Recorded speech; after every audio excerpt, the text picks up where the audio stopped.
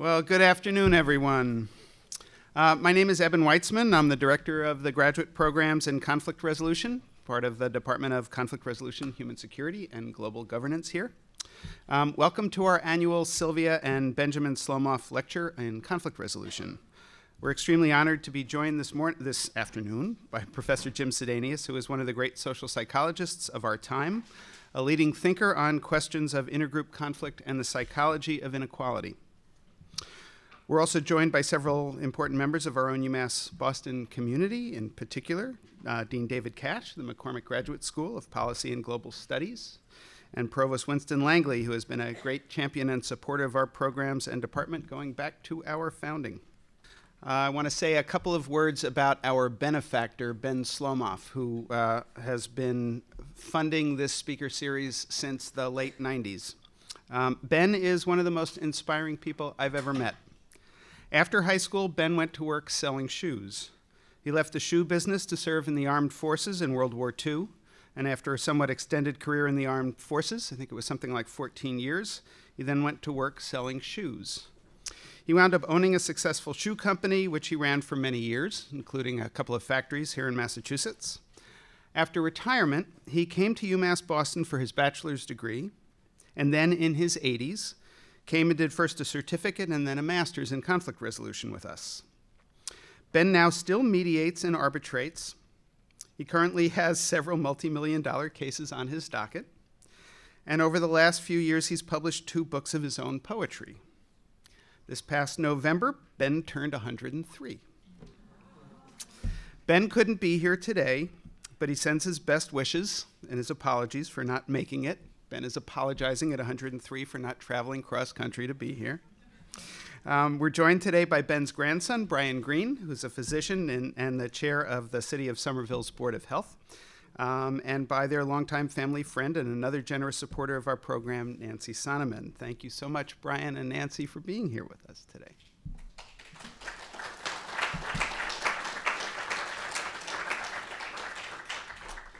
Each year since 1999, with Jen's, Ben's generous support, we've held the Slomoff Lectureship. This has been one of our most exciting events each year. The Slomoff Lectureship has brought us some of the most well known and influential people in our field, including Mort Deutsch, Herb Kelman, and Barbara Bunker, all social psychologists. Dennis Ross, shortly after he left the State Department. Eric Green, who spoke about mediating the Microsoft antitrust case. John Marks of Search for Common Ground, Christiana Figueres, who was Executive Secretary of the UN Framework Convention on Climate Change, the mediator and author Bernie Mayer, Professor Richard Hackman, one of the world's leading experts on teams, late of Harvard University, and last year Trita Parsi, founder and president of the National Iranian American Council, and many more. Today, in Jim Sidanius, we welcome a great thinker on questions of intergroup conflict and the psychology of social dominance. Professor Sidanius' work has been extremely important for my own work on intergroup peace building in the Middle East, and I am absolutely delighted to be able to welcome you here today. First, David Cash joined us in 2015 as Dean of the McCormack Graduate School of Policy and Global Studies after a remarkable career both in and out of academia. He's been a policymaker, environmentalist, mediator, mediator, author and teacher. He's had senior positions in the Massachusetts government at the Department of Environmental Protection, Department of Public Utilities, and more and more. He's been a research fellow and lecturer in environmental science and public science and public policy at Harvard, and he has taught middle school and high school. This is where I would not dare to tread. Fearless leader of exciting and growing school, please join me in welcoming David Cash.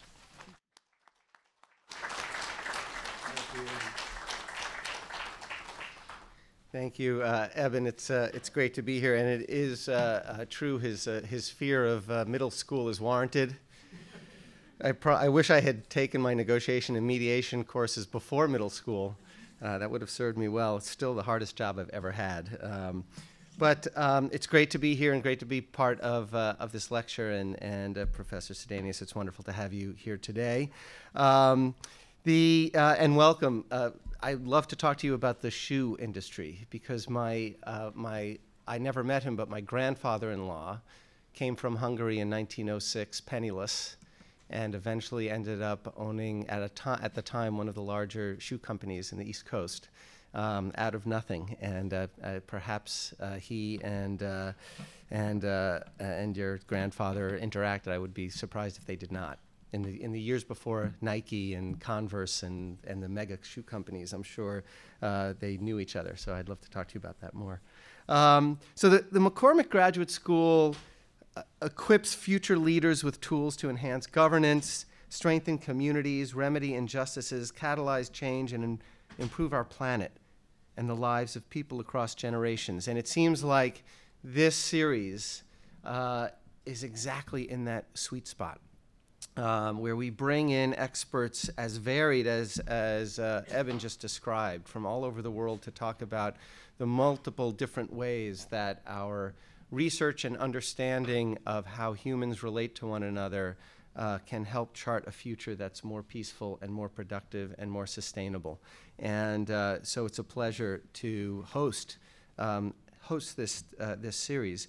As Eben also noted, uh, the, the Conflict Resolution, Human Security, and Global Governance Department has a number of different programs um, and uh, conflict resolution, the graduate certificate and master's program is only one of those, but we have a PhD in global governance and human security and a master's in international relations as well. And perhaps one of the best ways to kind of frame the programs is to think about where some of our alums are.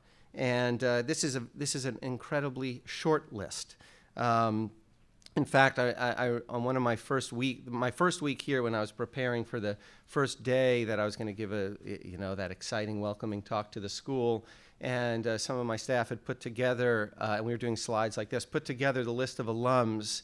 It was one of those problems where I had to make it like eight point on a slide, and we had 10 of these slides of incredible things that people are doing. But here's just a, a couple. And um, our, the con- convocation speaker for UMass Boston in 2011 was Jamie Kirsch, who went on to be the Presidential Management Fellowship as a conflict prevention officer in the Office of, uh, of the Coordinator for Reconstruction and Stabilization at the U.S. State Department.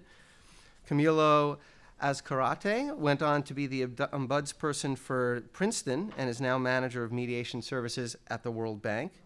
Deborah Mendez is now the director of mediation services for the United Nations. Colin Rule was eBay and PayPal's first director of online dispute resolution and now CEO of Modria Inc., which is a company that helps other companies with conflict resolution.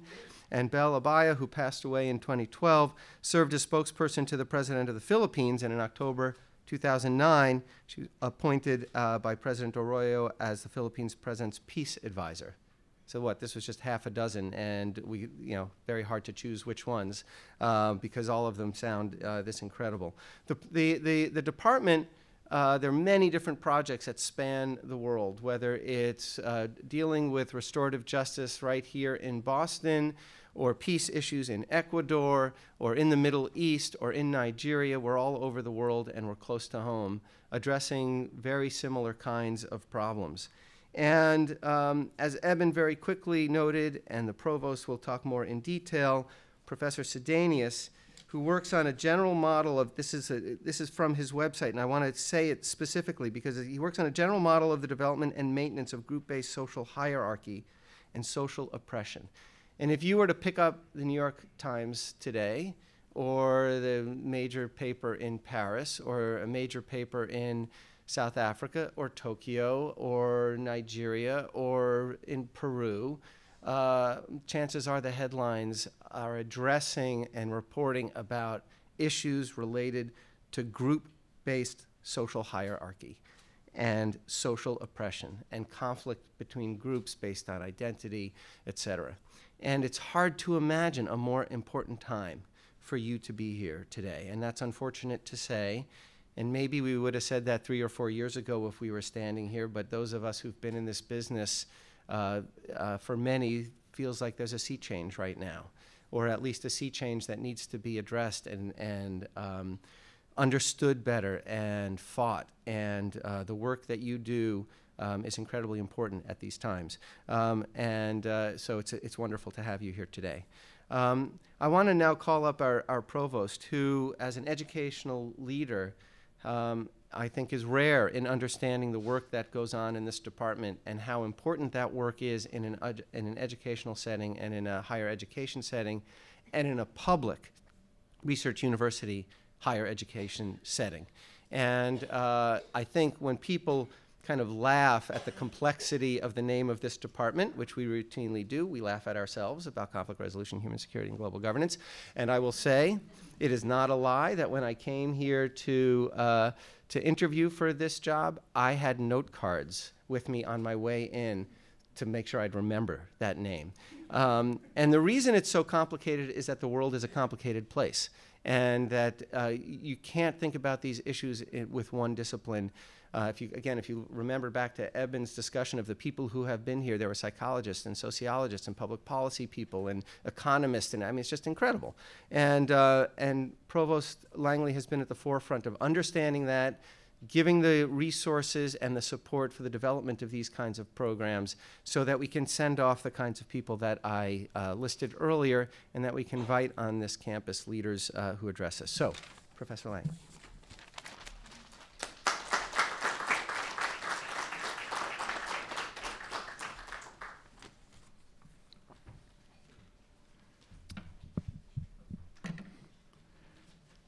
Thank you, Dean Cash and Professor Weitzman. Good afternoon to new guests, to long-time supporters of the Slomoff Lectureship, to visiting colleagues, to professors and students, as well as members of the staff, including members of the central administration. It is my humble but happy task to introduce our speaker. And it is with pleasure that I do so. I hope you'll allow me, however, to say something about his focus and put it in some sort of context in international relations. That it has been part of a project launched in November of 1945, even before the Declaration, Universal Declaration of Human Rights, or the Genocide Convention. After World War II, it was thought a new world order was being created. It was to be a special project. That of a progressive elimination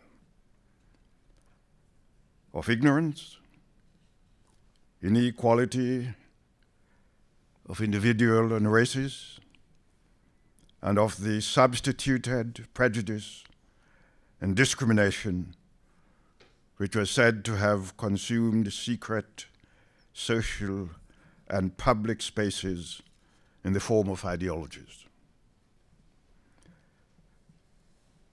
These took the place of the equality and dignity of all human beings. It was understood that those prejudices associated with the discrimination which people experienced were the principal causes of the morally unpardonable war. This is what the Constitution, Constitution representing the world at large, of the United Nations Scientific, Educational and Cultural Organization says to and asks of us. In Article 2 of the Universal Declaration of Human Rights, we call it the majestic non discrimination clause. We learn that everyone is entitled, without distinction of any kind, such as race, color, sex, language, religion, political and other opinion, national or social origin, property, birth, or other status. I repeat, or other status, that everyone is entitled to rights and fundamental freedoms contained in the Declaration. That was in December of 1945. In 1972, under considerable hierarchy attenuating pressures, as the language of our uh, uh, speaker would suggest, of women and women's groups, especially the National Organization for Women, Congress passed the Equal Rights Amendment. It states, equality of rights under the law shall not be denied or abridged by the United States or by any state on account of sex.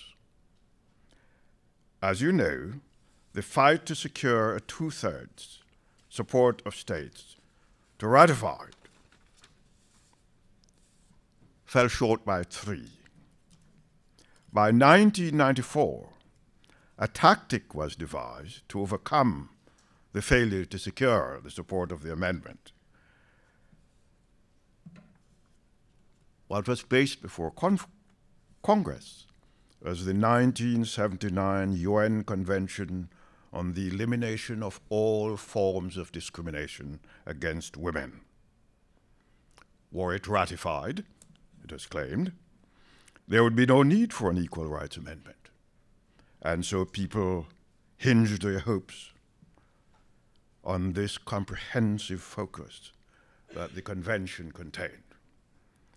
I'd like to read for you its definition of discrimination.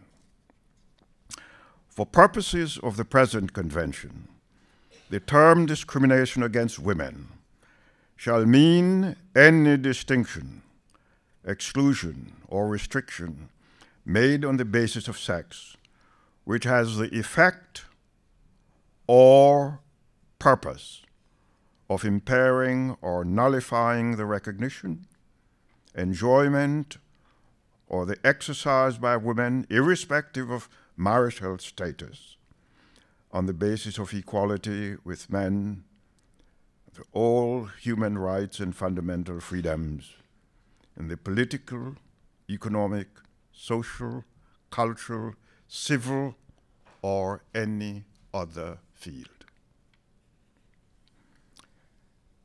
The convention is still before the Senate Judiciary Committee.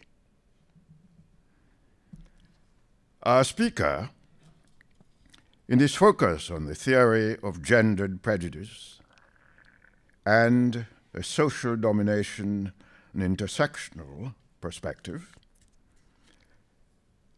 may very well shed some light as tonight to enlighten us why the difficulty of dealing with these recognized conflict laden, human endangering forms of discrimination?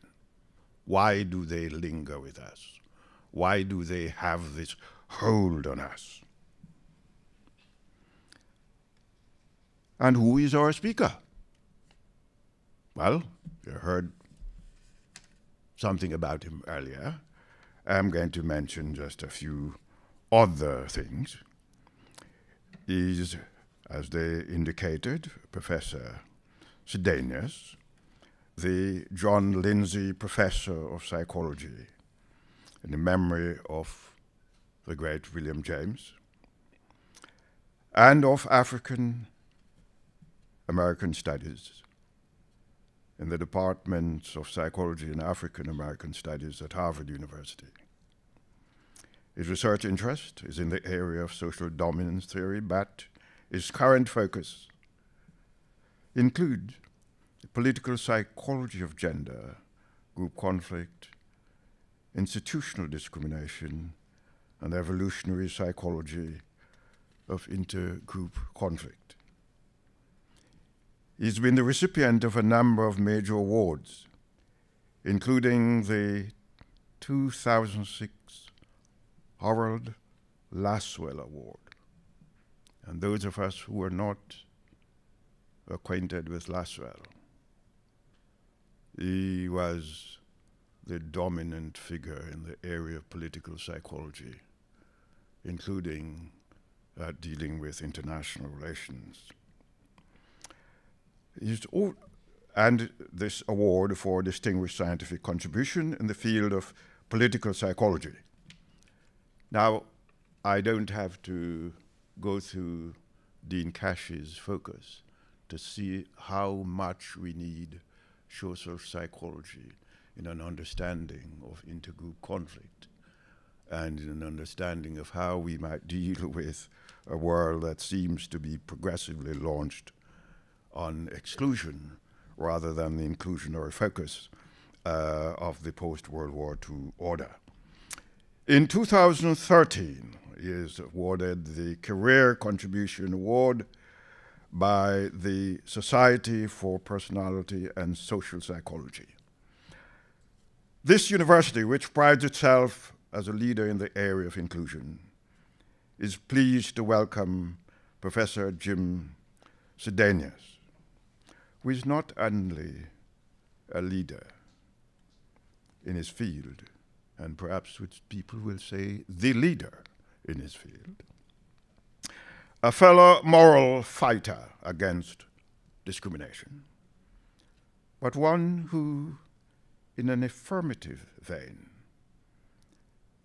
seeks to support the full responsibilities of participation, the joy of independence, the fulfillment and gladness of truly self determining state of being for all,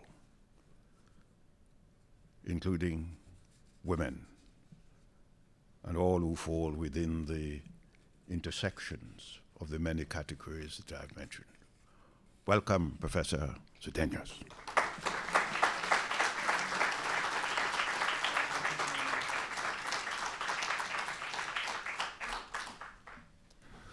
Well, I'm really very pleased to be here and flattered to be at the Slomoff um, lecture series, and I am impressed by how gracious, how graciously I've been treated and met by the people in this program. I'm a refugee of the American Civil Rights Movement, and after having participated in it for many years, I came to the conclusion that despite the undeniable progress that civil rights has made in the United States, that the purposes of the movement were not fulfilled, that civil rights movement has been actually a failure. And it's a failure by not achieving its ideals of making race and gender irrelevant criteria for what happens to a person in life. And that's just not the case, despite our progress. And that prompted me to take to step back and take another look at the, the, the dynamics of oppression, racism, and sexism. And I developed the theory together with a colleague of mine, Felicia Pratto, the social dominance theory. And what this theory starts out by saying is that human social systems appear to be structured as group based hierarchies, with one or a small group of, of groups at the top of the system and others at the bottom of this system and this seems to be a ubiquitous phenomenon.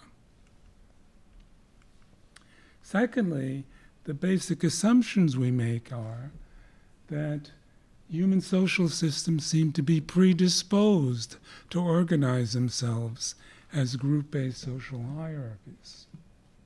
Secondly, the most common forms of social oppression we know, like sexism and racism and nationalism and religious intolerance, etc., are really simply special instantiations of this general tendency to form and reform group based social hierarchies.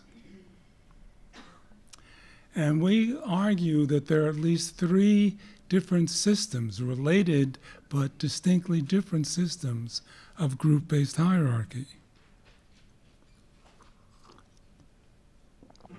One of these systems is the age system, in which adults, variously defined, have more social and political and military power than children. This is uncontroversial, this distinction.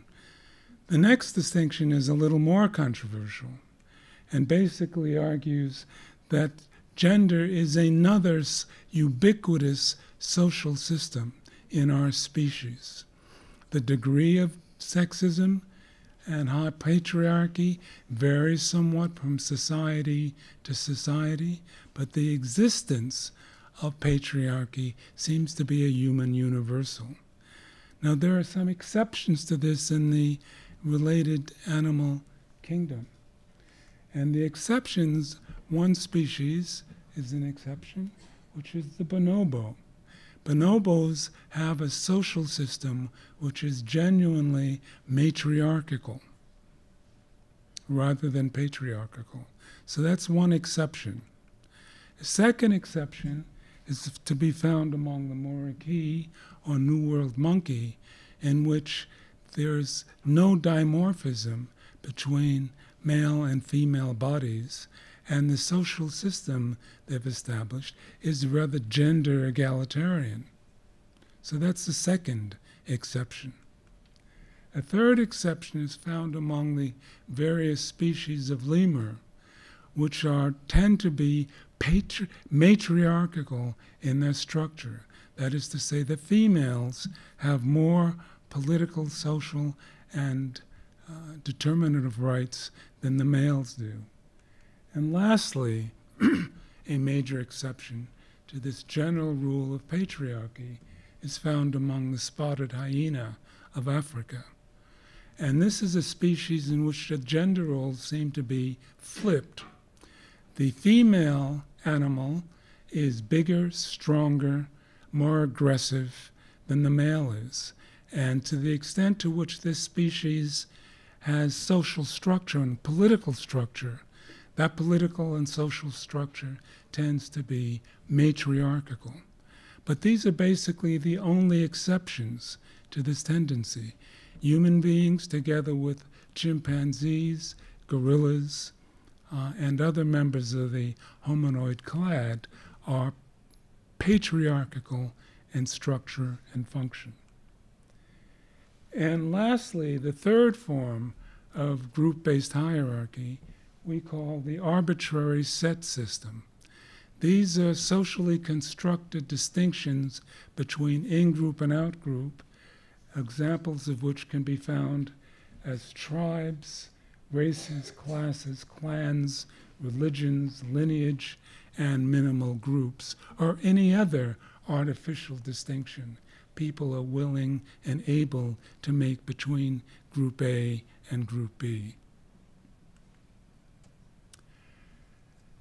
Out of this general reasoning comes the notion of the racial oppression as a form of arbitrary set discrimination, and which is, we're going to argue, deeply gendered and just thus inescapably interactional and intersectional. And so the basic theme of this talk is to try to convince you that we really cannot understand the dynamics of arbitrary set discrimination without appreciating the fact that it is a gendered phenomena. And how does that come about? Well, what are the theoretical underpinnings of this? And this is the introduction, our introduction of the theory of gendered prejudice. And it basically finds its roots in Robert Trivers, who was an evolutionary biologist, and a thesis called the parental investment theory.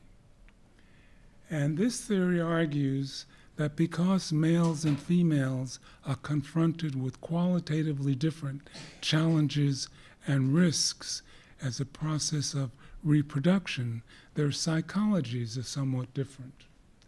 So, for instance, the obligatory reproductive investment of males ends after the relatively costless production of millions of sperm and the act of fertilization. Secondly, however, females bear a relatively high obligatory cost in birthing, lactation, and the not insignificant risk of death in childbirth. Following this, human males and females also differ in their the length of their reproductive lifespans, where males can are reproductively capable a much longer period of their life cycle than our females. Next, we argue that because of these gender differences in the costs and risks of reproduction, the, psych- the reproductive psychologies of males and females will be slightly different. And most importantly, that these differences and um, feedback between male and female reproductive strategies have political and political consequences, socio political consequences. so the general model looks like this basically, that we argue that parental efforts by females will be more likely to be emphasized and mating efforts by males more emphasized. This will have behavioral consequences and differences for males and females. So, a relative among females, there'll be a relatively high choosing mate choosiness, a relative high investment in offspring, and a tendency to select mating partners who are of high status and willing to devote those status and resources to her offspring. Among males, however, their mating strategies will be characterized by relatively high sexual promiscuity, high striving for status and power, and male and high levels of male on male competition.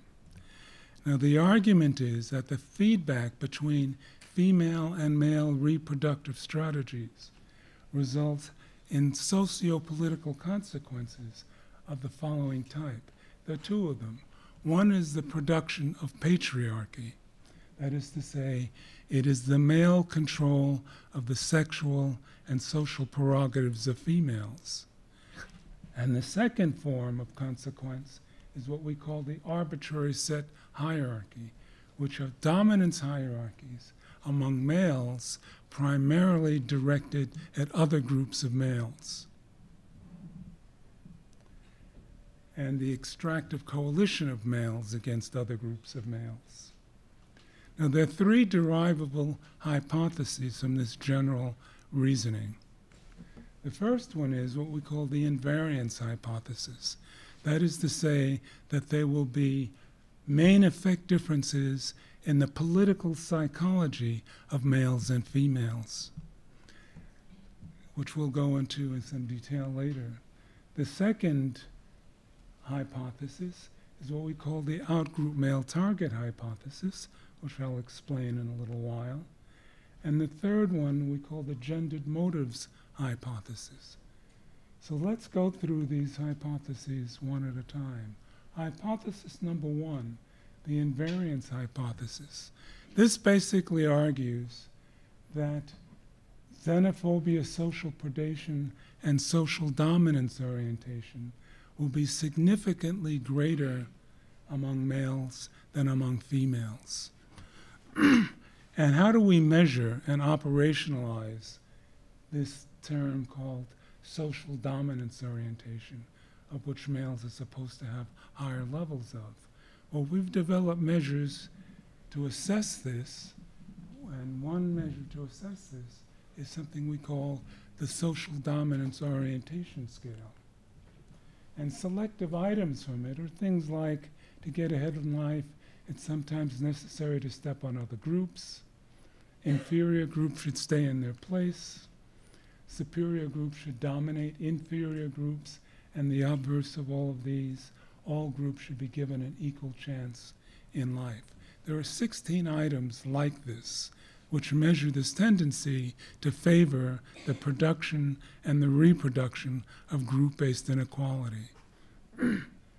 and the thesis is that given the reasoning I showed you in the uh, just now, that there will be a significant and consistent gender difference in this tendency. And this fact of a gender differences, difference between males and females regarding dominance orientation is probably the most well supported finding in all of social dominance theory. And it seems not to interact with a bunch of possible moderators. It's consistent across nationality, ethnicity, religiosity, education, income, child rearing practices, levels of racism across genderal attitudes and across ideologies. The best evidence for the existence of this consistent main effect difference between males and females and the tendency to favor group based inequality is found in a meta analysis done by some colleagues of mine in 2011. And what they did was look at 101 different samples uh, using 28,300 plus respondents across 16 countries. And what they found is not a single incidence in which, or instance, in which males had a significantly lower level of SDO than females do across all of these samples. The second hypothesis that comes out of the general assumptions of the theory of group-based of gendered, gendered prejudice is called the arbitrary set. If we define ASD, this thing right here, as arbitrary set discrimination, then the thesis argues that the level of arbitrary set discrimination suffered by males will be larger than the level of arbitrary set discrimination suffered by females, which might or might not be greater than zero. Now, if you think about this for a second, this directly contradicts one of the popular notions within intersectional thinking, which is if females are um, discriminated against by virtue of their gender, and black females are also discriminated against by virtue of their race, then black females of subordinate in, uh, females should be doubly handicapped. But this argument that we're using says that that's just not the case, that females will suffer from the effects of sexism, but not the double effect of sexism and racism. Okay. Now, where's the proof of this rather counterintuitive finding or statement? We're going to go through that in a minute. Third hypothesis, the gendered motives hypothesis, which basically says that the motives for arbitrary set outgroup discrimination will differ for males and females. Among males, but not among females, discrimination against arbitrary set groups will be substantially motivated by levels of aggression and social dominance orientation, and that will not be the case for females. So let's look at some of the empirical evidence for this, for the outgroup male target hypothesis. There are three levels of support that we can find for this theory. The first level is looking at the lived experiences of individuals, males and females, from subordinate groups. and this is survey data. And there have been three major studies using survey data, simply asking males and females the, the degree to which they have suffered racial discrimination across a variety of domains. And those domains like shopping, dining out, at work, housing, with the police, in public transport, and in education. Okay.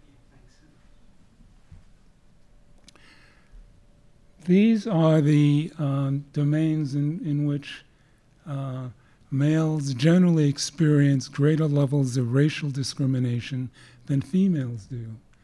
And these findings, and in the criminal justice system as well, have been found in the United States, the UK, and in Sweden. Okay? But this is the weakest form of evidence, and I'm not going to spend much time going over it.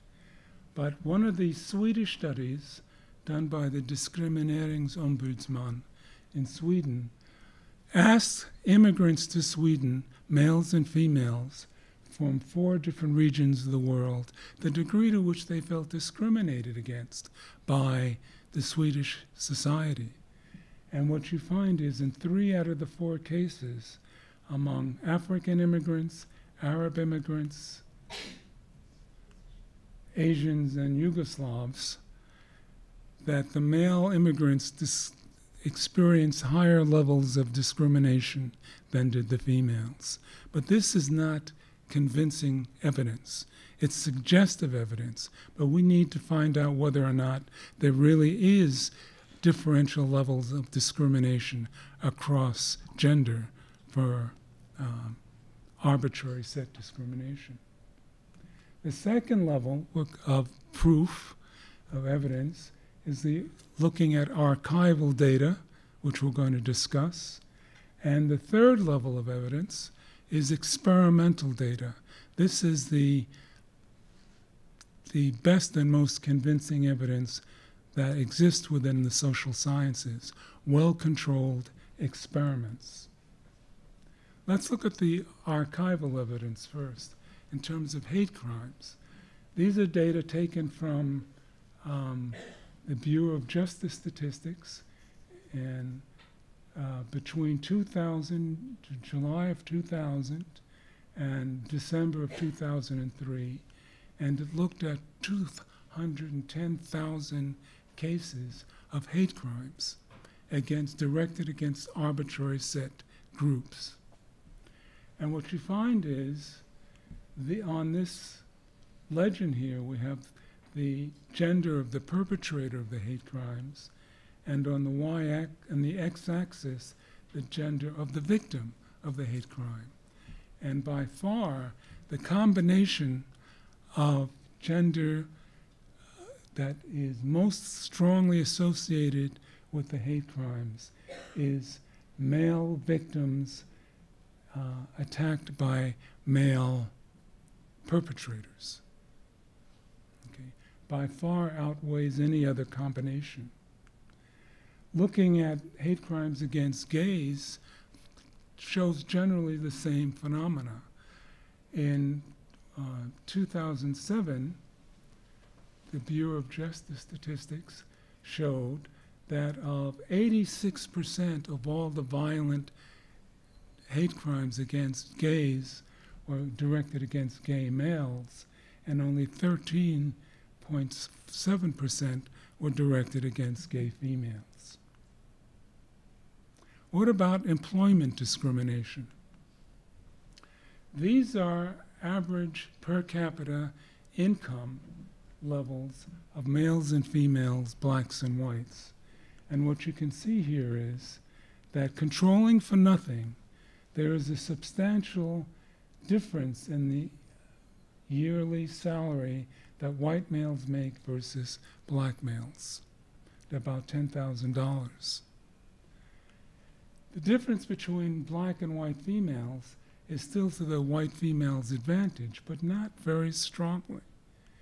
There's a very minor difference in the incomes of these two groups of females compared to the rather large difference between these two groups of males. Well, that data controls for nothing. It, it's looking at just raw means. So we don't know what the, what the differences are in human capital investment for these groups. So let's look at that. And here is a study done by Farley and Allen using 1960s data and 1980s data. And what it looks like, looks at on the y-axis is the amount of return on yearly educational investment for every additional year you go to school. So for instance, what this chart says is that in 1960, white males earned 78 cents more per hour for every additional year of schooling they got. So this is return in salary on educational investment. And this is this is the data in 19 um,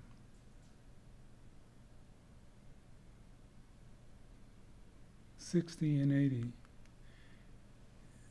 In 19, this is the 1960 data. In 1980, we see that white males earned substantially more in rates of return on investment than did black males. So these are black males in 60, and these are black males in 1980.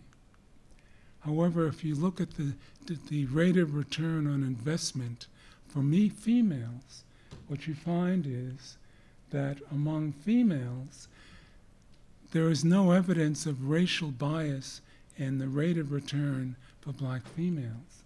The rate of return on investment is, if anything, slightly higher for black females compared to white females. In 1980, things got better. You got a higher rate of return on educational investment. But if anything, black females got a higher rate of return than white females did.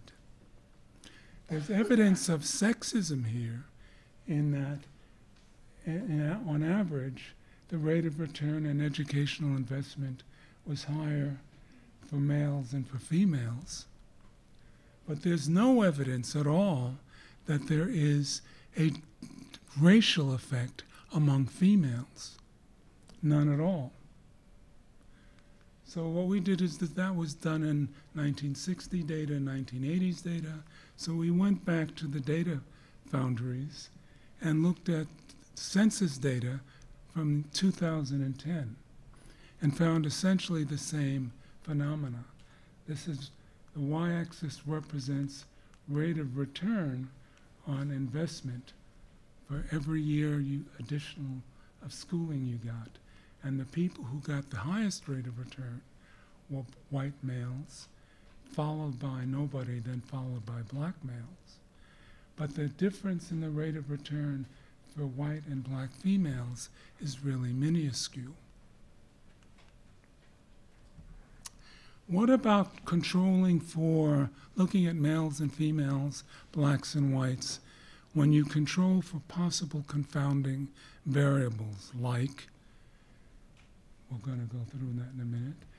This is taken, these are data taken from Bowen and Bok's book in 1976, looking at the graduating class in 76 and following them up 25 years later to see what happens to that graduating class. These are the raw differences between whites and blacks in per capita income. And you see that, again, whites, males, earn substantially more than black males do.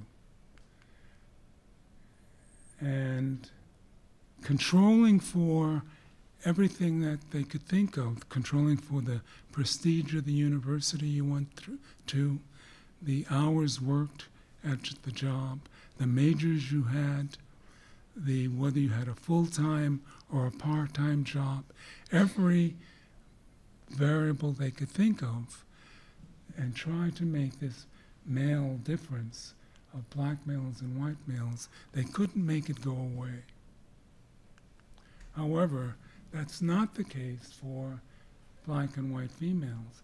Controlling for nothing, there's only a very slight difference in the per capita income given to white and black females. Once you put in all the controls, the difference differences between the females, white and black, completely disappears. Again, in these data, there's evidence of sexism. Everything else being equal, males earn more money than females do. But there is no evidence in these data for racial bias between females or among females, controlling for confounding variables. Or what about the criminal justice system?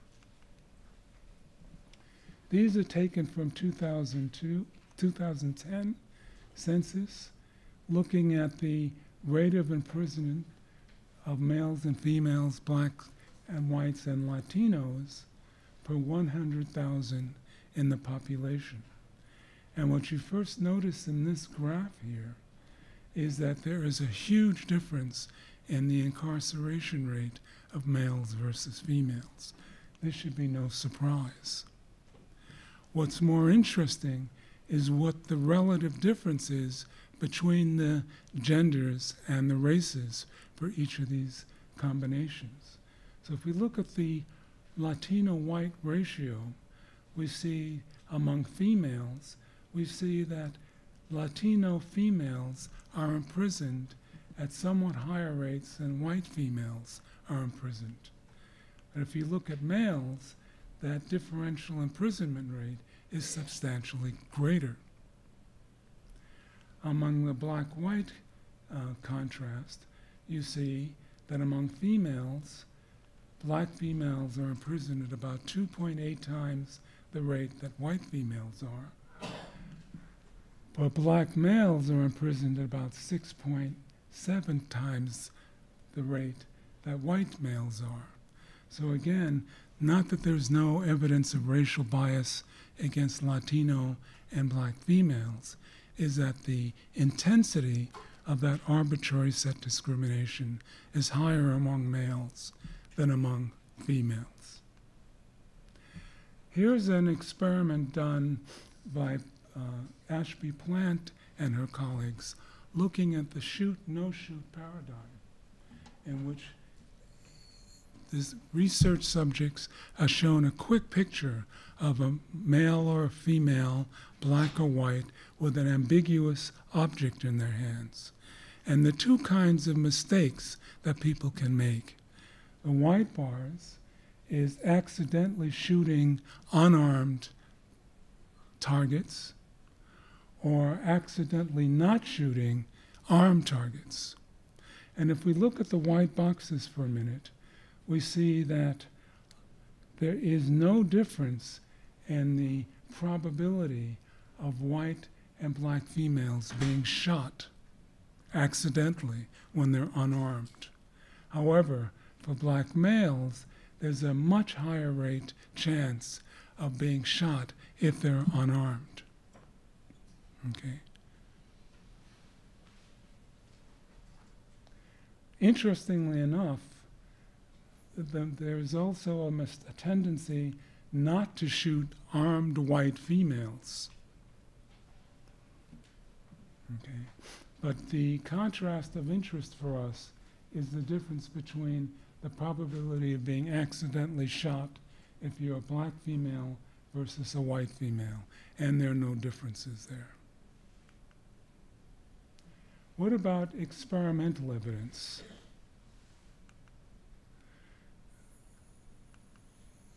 This, this uh, study looked at the probability of being fined or taxed on the basis of your uh, ethnic group membership. And what we have here on the y-axis is the money that you could lose or be taxed if you belong to a white male student organization or versus a black male student organization. And there are a range of different choices a test subject could make. They could either do the rational thing and charge everybody less money. So here we're looking at losing or being fined $7,000 if you're uh, a white male, white male organization, but that's done at the cost of out-group, black out-group student organizations being charged only $1,000. But still, the most rational thing to do is to make this choice going to the right. If you're being vindictive and targeting um, objects, you're going to go to the left. That is to say, everybody, the disadvantage is everybody gets taxed more, except the advantage is that the outgroup gets charged tax significantly more than the in-group does. Now, what are people going to choose? To be taxed more, to stick it to the outgroup, or to be taxed less and pay, be taxed more than the outgroup? Well, the data seems to show that the kinds of choices that people make here depend upon the gender and sex of the allocator and the gender and sex of the target. So if you're looking at female organizations and white male and female respondents, there's no real difference in the rate of taxation. If anything, it goes towards the negative. That is to say, people tend to tax the outgroup less, and uh, the outgroup and the in-group. For male targets,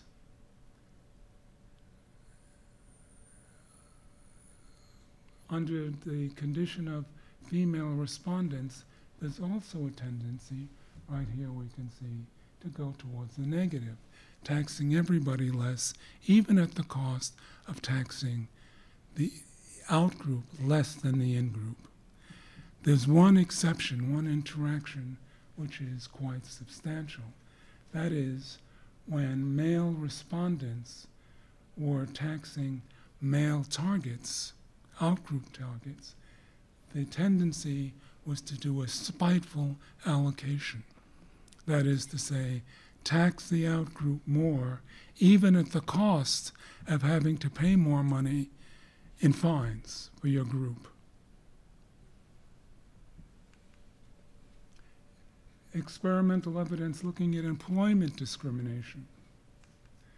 This was a series of studies we did for our book looking at the rate of workplace discrimination based upon the gender and sex of, this, of the job seeker. And it was an a audit study.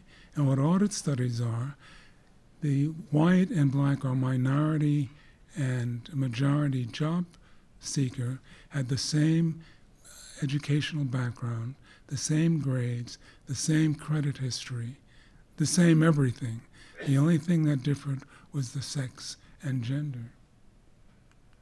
And this series of studies was done by looking at the contrast between discrimination rates of whites versus Indians, white versus uh, East Indians, Native whites versus Greek immigrants, etc. These are all of the combinations. What the data showed is that if you adjust for nothing, there's a slight tendency for male outgroup members to be discriminated against at slightly higher rates than females are. It's that difference between the blue and the pink bars there. But after you make adjustments for education, the kind of job it is, whether it's meeting the a job entails meeting the public or not, the amount of education demanded by the job, the differences in discrimination rates between male and female become quite sharp. That is to say, males are discriminated against at substantially higher rates than females are. This is an interesting study done by some colleagues of mine.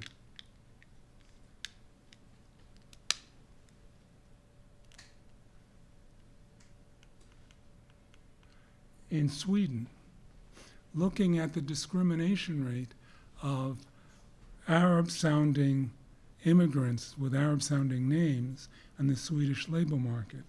And the dependent variable here is the callback ratio.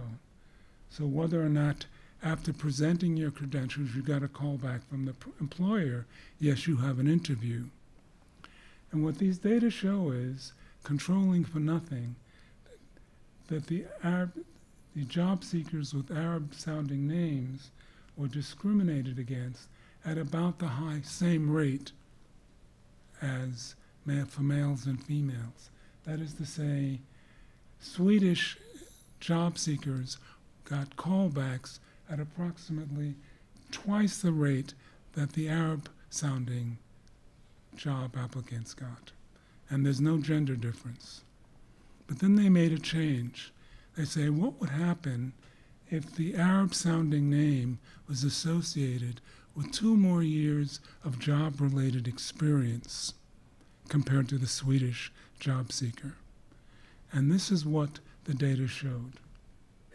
For females, the callback difference between native Swedes and immigrants went away. It was no longer significant. If the Arab female had two more years of job related experience, but that was not what happened with the male job applicant who had an Arab sounding name. Here you see, at the level of discrimination against these job applicants went even higher. Okay? The uh, prepared fear paradigm. This is a set of experiments that does the following it divides up stimuli in the world into two categories those that we're prepared to be afraid of, like poisonous snakes and spiders, and those that we're not prepared to be afraid of, like ducks and butterflies. Each pair of these stimuli are then associated with electric shock and noxious noise. So whenever you saw the CS plus um, exemplar, you were shocked, and when you saw this exemplar, you were not shocked. Oh, naturally, after a few trials like this, just seeing a picture of the conditioned stimuli resulted in a fear response compared to the uh, target that was not paired with a shock and electric noise. And the same thing was done to stimuli that were not prepared to be afraid of. So this picture was associated with shock and this wasn't. Well, naturally, what the data showed was that you just need to show a picture of this duck to get this fear response. But what they noticed was that the extinguishing period, where the when it was no longer associated with electric shock, the fear response difference, or the skin response difference, was no longer significant between these two pairs of objects. But when you took away the unconditioned stimulus, the difference in, um, or the fear response for the other object, or for this object, did not go away. It lingered. Once you were conditioned to fear a prepared stimulus with fear, it didn't go away. Or two our bunch of our colleagues decided to apply this technique to human groups. Now imagine we're dealing with white subjects for a minute. For white subjects, pictures of other white males when they are not prepared to be afraid of them, particularly. But you are, they were prepared to be afraid of pictures of black males. And the same technique was used to see one pair from each of these, one example from each of these pairs was associated with electric shock. And then the data were put through an extinguishing period to see how long that change lasted. And what they found was the following.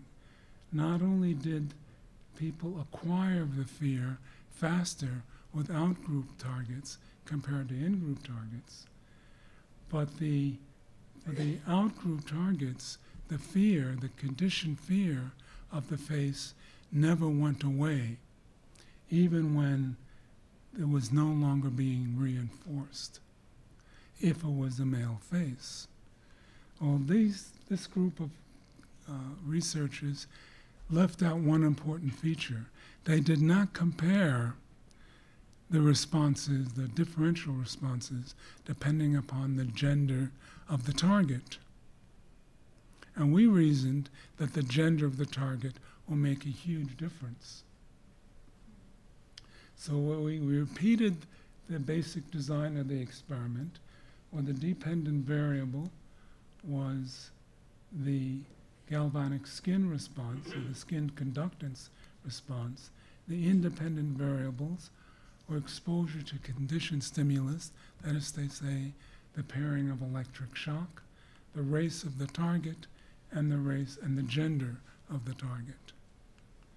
And what the data show is the following that among female targets, it, the extinction basically went to zero. These bars are not significantly different from zero. So that is to say, the conditioning went away when the targets were female. When the targets were in group males, the fear response also went away. But when the target were out group males, it did not go away. It lingered. In other words, it's the combination of the gender and the race of the target and the gender and the race of the allocator which makes all the difference. In other words, this is an intersectional finding.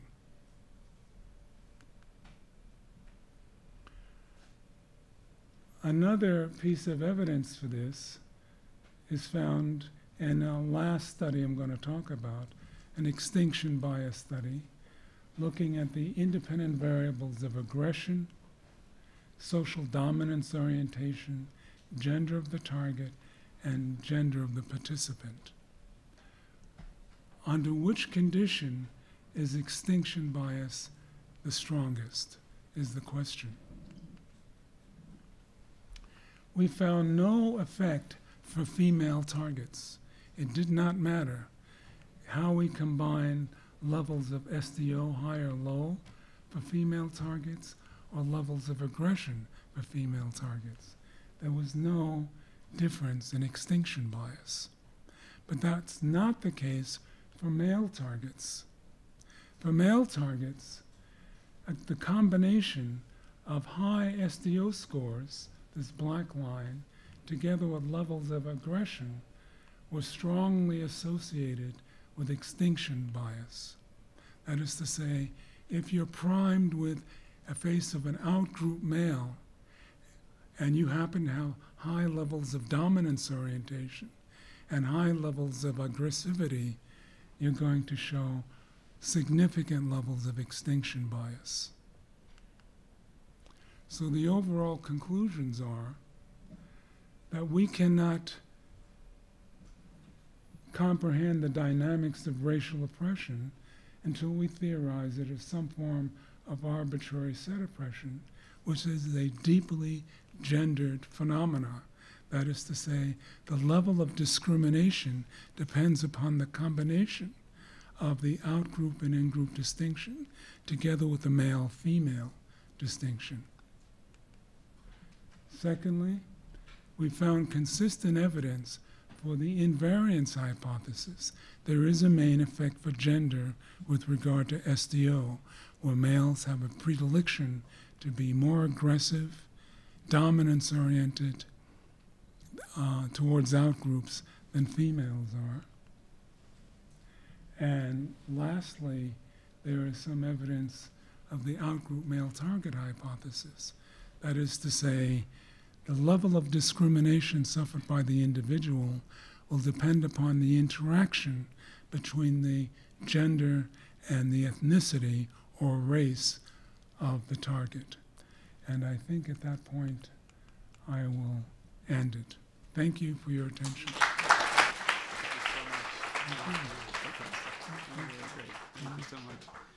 Um, you have given us a tremendous amount to think about, and I know that I'm, I'm going to be thinking about um, the implications of all of this as we think about doing conflict resolution work, and to think about the psychology of males and females when in conflict. And uh, it's a question our students certainly raise all the time, and it's a question that we, we wrestle with in the field, and you've given us some important new stuff to work with. Okay, well, And thank thank you so much. Thank you Okay, so much. thank you.